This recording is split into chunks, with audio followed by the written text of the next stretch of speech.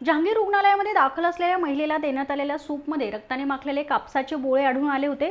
याबाबत रुग्णाच्या नातेवाईकांनी अन्न आणि औषध प्रशासनाकडे तक्रार केली आहे. एफडीएने केलेल्या तपासणीत रुग्णालयाच्या कॅन्टीनमध्ये अस्वच्छता आढळून आली असून त्याबाबत कारवाई करण्यात येणार असल्याचं पाहायला मिळत आहे जहांगीर रुग्णालयामध्ये प्रसूतीसाठी दाखल झालेल्या महिलेला देण्यात आलेल्या सूपमध्ये रक्ताने माखलेल्या कापसाचे बोळे आढळले होते.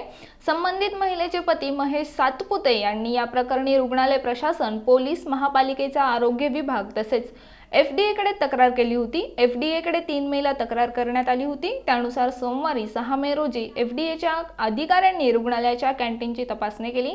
या तपासणीत कॅन्टीनमध्ये अस्वच्छता असल्याचे आढळून आले आहे.